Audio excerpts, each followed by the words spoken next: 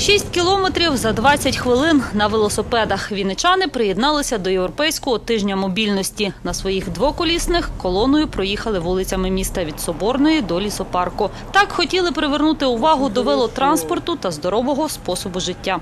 Здоровий спосіб життя це класно. Це здоров'я у будь-якому віці, незважаючи тобі 25 чи 50 чи 70. Займайтеся спортом, приймайте участь у громадському житті, все буде гаразд.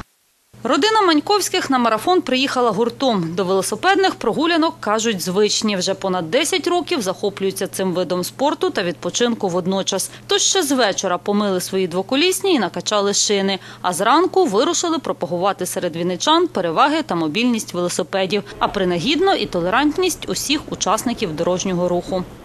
Винница стает более велосипедная, и велосипедистов надо уважать на дороге и, и на велодорожках, которые построили для нас.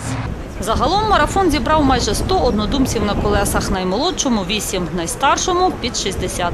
Очевидно, я в детстве на велосипеде не накатался и теперь наверстываю. У Європі тиждень мобільності відзначають у більш ніж двох тисячах міст. Все через збільшення приватного транспорту, а відтак заторів та аварій на дорогах. У ці дні громаду закликають пересідати на громадський транспорт і велосипеди. Вінничани ж до тижня мобільності приєдналися вдруге.